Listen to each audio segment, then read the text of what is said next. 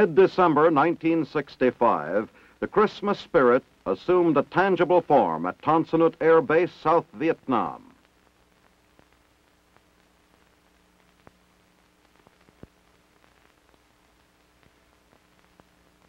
Here, Operation Christmas Star reached a climax as thousands of pounds of Christmas gifts donated by communities and organizations throughout the United States were unloaded from aircraft for distribution to all U.S. forces in South Vietnam.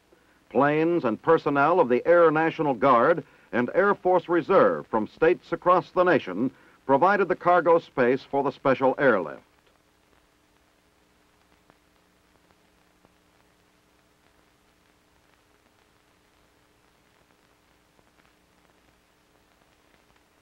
These boxes of Christmas gifts were flown to Vietnam by the C-97 of the California Air National Guard, one of the 82 aircraft which took part in the operation.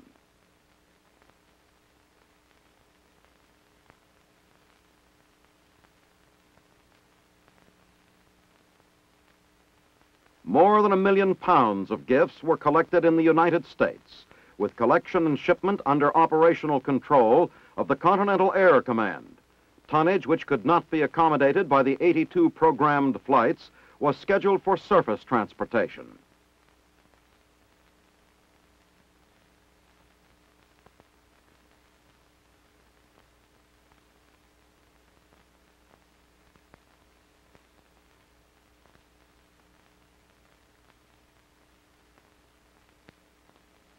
In Saigon on December 24th, as Christmas Eve approached, there was another expression of the holiday spirit. The scene was the Tong Tin Hock Orphanage, and other Saigon children not residents of the orphanage were interested and somewhat wistful spectators.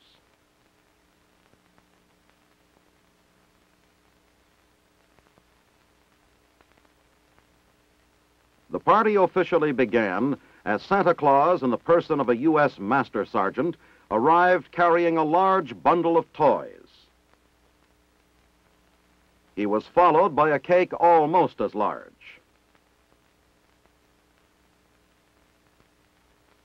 The orphanage had been in existence only two months. Its residents ranged in age from birth to three and one half years, and this was the first Christmas party any of them had ever attended. The hosts were men of a U.S. Army replacement battalion stationed near Saigon.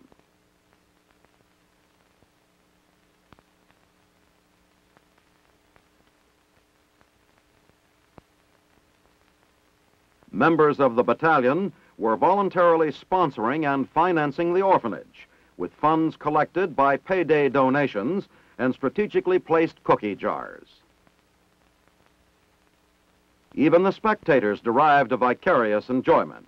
The party itself was sponsored by the replacement battalion, with many of its members acting as volunteer hosts, and they seemed to enjoy it as much as the youngsters. Toys were purchased by men of the battalion who had previously bought the orphanage a stove and refrigerator and were paying the nurses' salaries.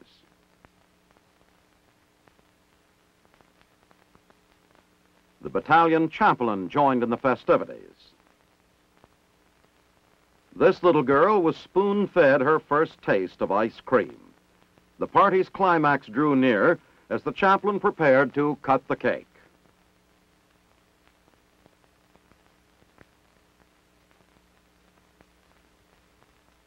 The cake, and the cookies as well, were baked by the battalion cooks on their own time. For these tiny guests at their first Christmas party, the payoff would come in the eating. For their hosts, the reward perhaps was even greater.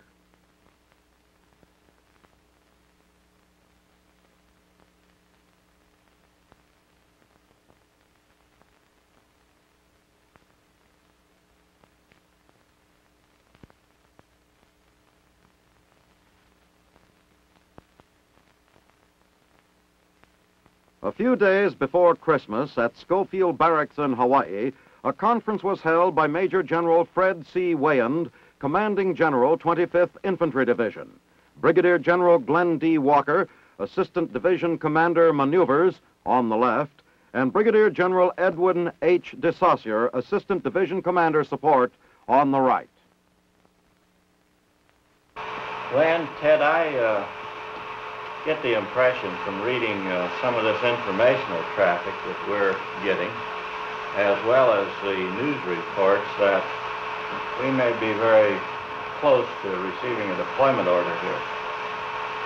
And uh, I think we've got a good SOP. We've been through this many times, training exercises and one thing and another.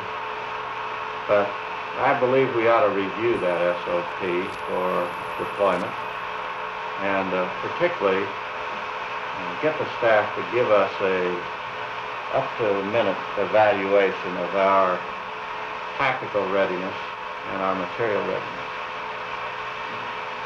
I'd like to pay particular attention to uh, these lessons learned in Vietnam. Glenn, uh, what do you think from the tactical side? Are we uh, pretty well up on this? Well, as you know, we placed a great deal of emphasis on lessons learned in Vietnam. So actually, from an operational point of view, I think we're ready. However, we continue to have a small input of replacements, which I think requires that we emphasize small unit tactical training, the squad and the platoon echelon. Now, this, of course, should include uh, night firing, fire control, and emphasis on the chain of command. Well, I sure agree with that. I think if we only have two or three weeks left. There's a tremendous amount that we can do on uh, this score that you're talking about, particularly at that squad and platoon. I'm wondering about the logistics side, Ted. How do you think we can incorporate these things, or are we incorporating them in our plans? I think we are. We've been, uh, as you know, cataloging all the experience that we can lay our hands on by letters and messages from Vietnam. Uh, We've been cataloging the things we need, uh, both in the TO&E category where we need increases on those scores and uh, on the non-TO&E items. I, uh, examples of increased lumber requirements, nails, uh, such things as extra hand tools and things like yeah. that. And we have been cataloging and making up our requirements on them. In accordance with the decisions of their commanders, and in anticipation of possible deployment to South Vietnam, men of the 25th Infantry Division, the U.S. Army's reserve force in the Pacific, were sent through a stepped-up training program designed to prepare them for the type of combat they could expect in Vietnam.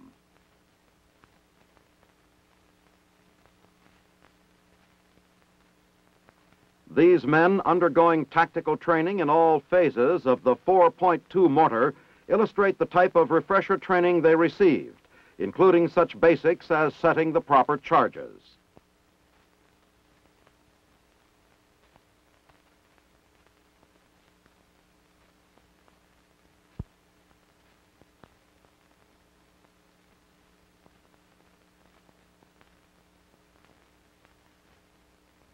Setting charges and giving fire commands might prove a little different once they got to Vietnam but U.S. infantrymen who had preceded them there were in agreement on one basic fact. Mortars have been found to be of great value from the Mekong Delta to the jungles to the central highlands.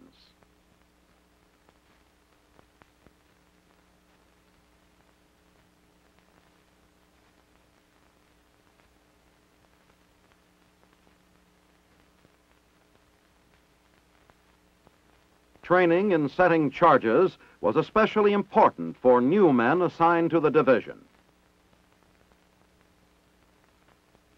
As the refresher training was accelerated, the infantrymen of the Tropic Lightning Division became increasingly proficient in their mortar drill.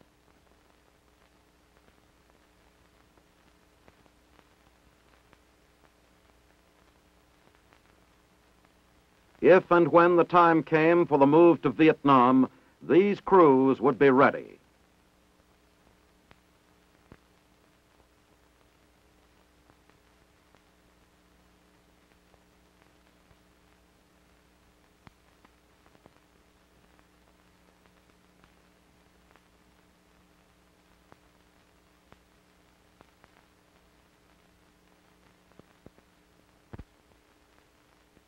Also found to be effective in the jungles, swamps, and highlands of South Vietnam is the 105 millimeter howitzer. It has proved especially valuable because of its capability of being airlifted by helicopter across impassable terrain.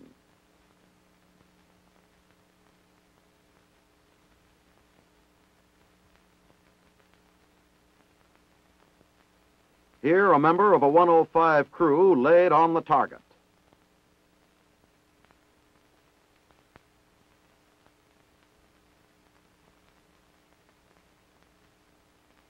And the weapon was fired.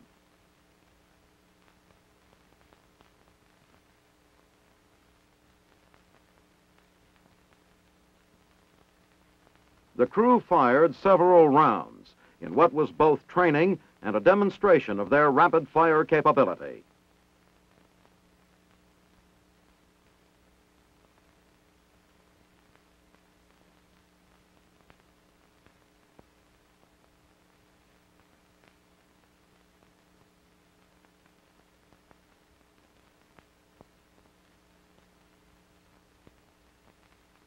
Virtually all tactical training would be repeated at night to prepare the crews for night combat in Vietnam.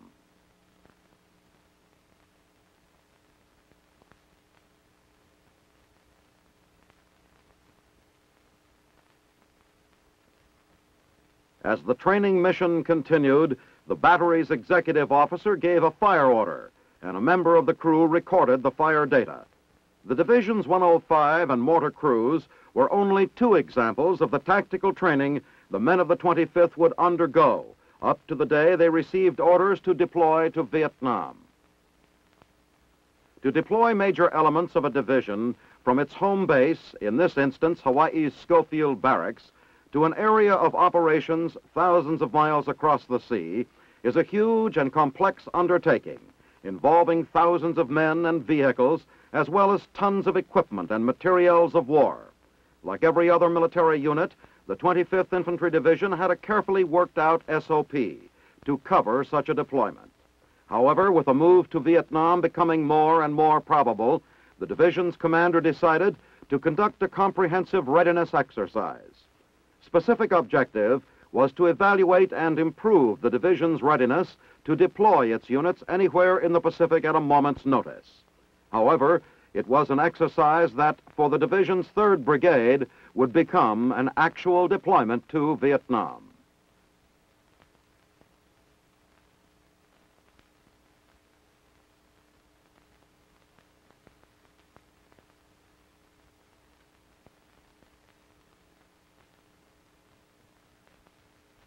Every unit in the division had its SOP. One duty of medical personnel was to check the health records of every man involved in the deployment. Records of men to be deployed had to be separated from those who would remain.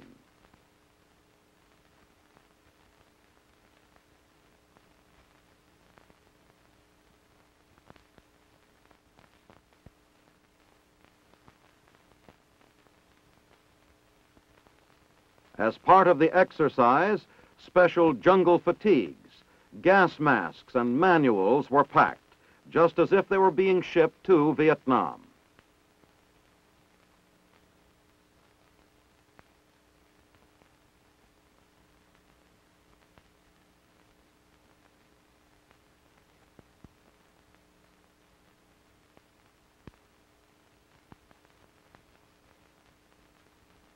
An example of the many logistic problems involved was the attention given to specially designed tent frame kits.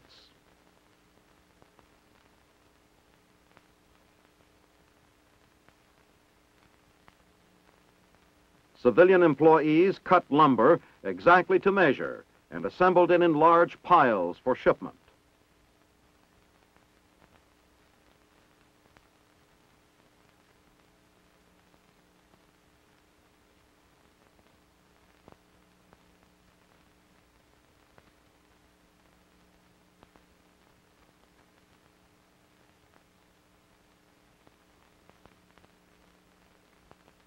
Division officers help supervise.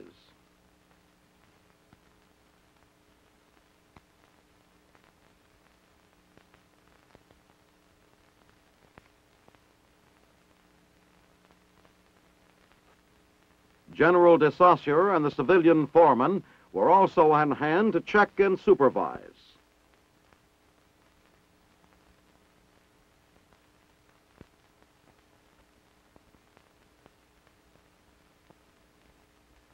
The task of cutting, assembling, and packing the lumber for the tent frame kits was finally completed.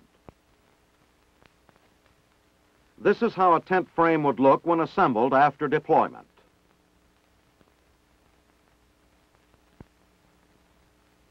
Studying blueprints that would serve as guidelines in erecting thousands of tent frames was only one of the many painstaking details required to substantiate the 25th's motto, ready to strike anywhere, anytime.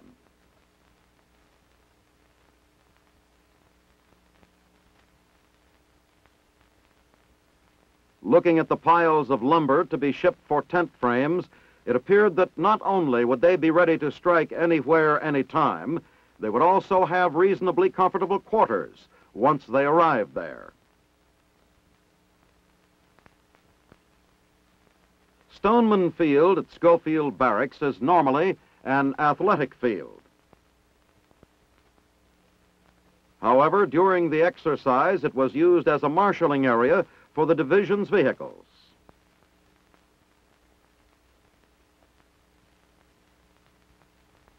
Here, too, the men and their equipment were assembled. Boxes of C rations were given a final check, and so were the men's weapons. At least one infantryman devoted special attention to an M79 grenade launcher.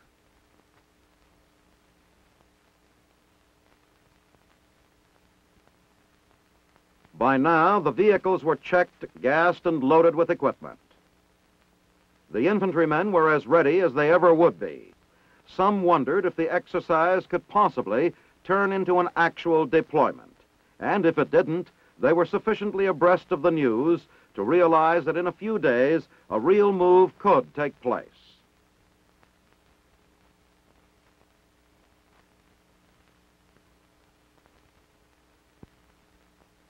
The exercise was realistic enough to include an actual movement from Schofield Barracks to the Army's docks in Honolulu Harbor.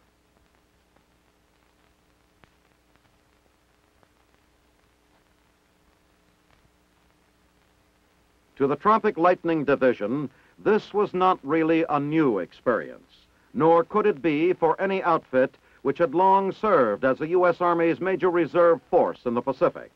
In 1962, elements of the division had left Schofield and deployed by air to Thailand, and it was no training exercise. Rather, it was a show of force designed to halt a stepped-up communist offensive in Laos, which saw red troops advance to the Thailand border.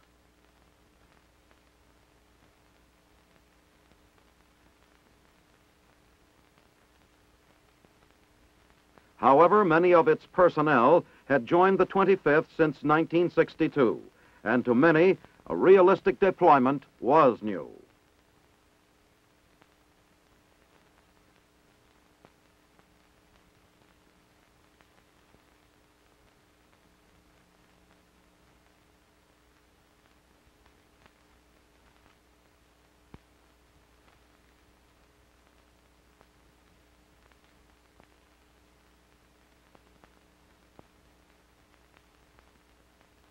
Over the years, these pineapple fields on Oahu had seen many a 25th convoy roll by.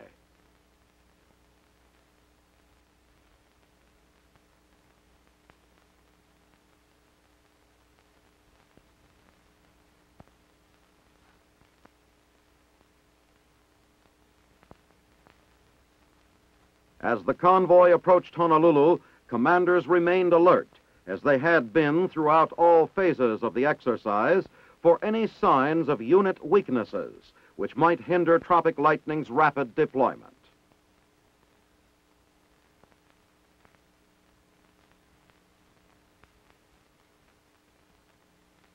Finally, they reached the U.S. Army Transportation Terminal. The APCs were among the first vehicles to be assembled for loading.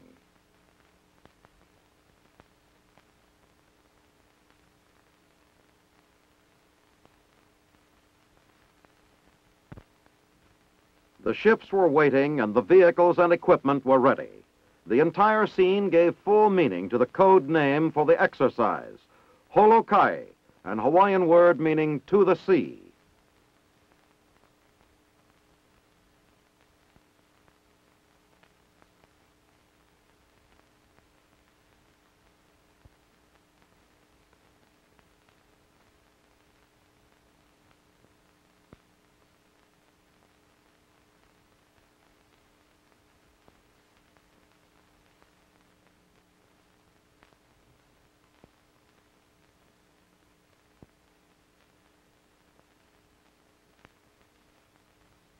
The 105 millimeter howitzers, fired during a training mission only a few days ago, were fully prepared and lined up for loading.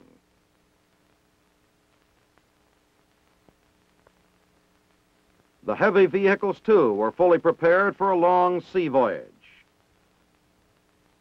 The entire exercise has reflected an accurate picture of what actually happens when an infantry division moves out for deployment to another area within a theater of operations.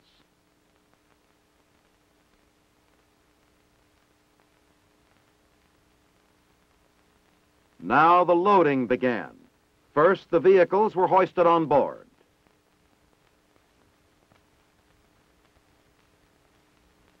Then came boxes and crates of rations, ammunition, and other supplies and equipment.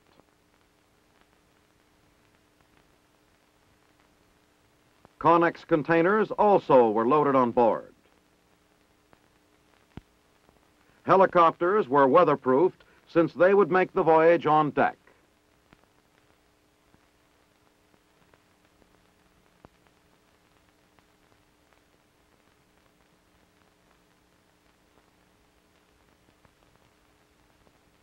A few days later at Hawaii's Hickam Air Force Base, C-141 stood ready for the long flight to Vietnam.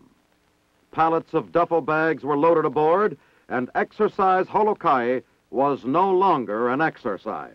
It was an actual air deployment of men and equipment to South Vietnam.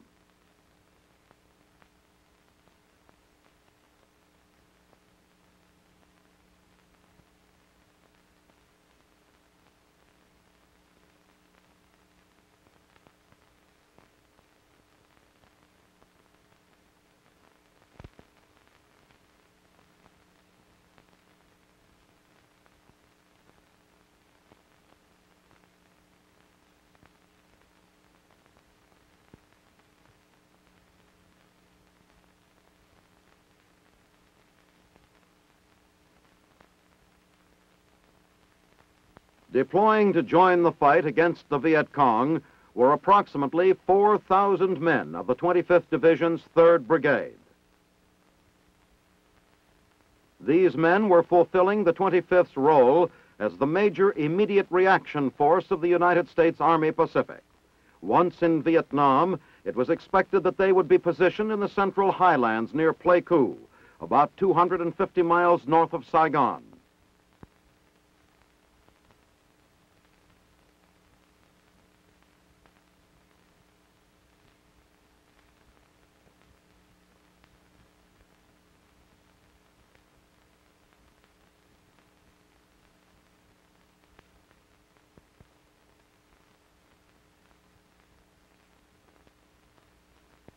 Colonel Everett A. Stoutner, commanding officer of the 3rd Brigade, held a final planeside conference with General de Saussure.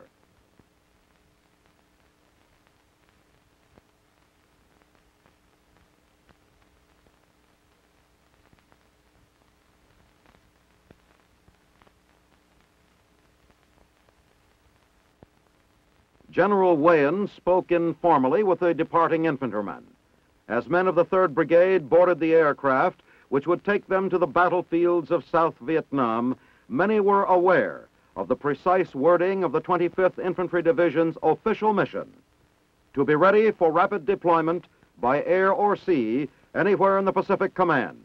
Upon arrival in the objective area, be prepared for immediate conduct of ground operations, ranging from civic actions to sustained ground combat operations against hostile forces. It was a mission they were fully prepared to implement.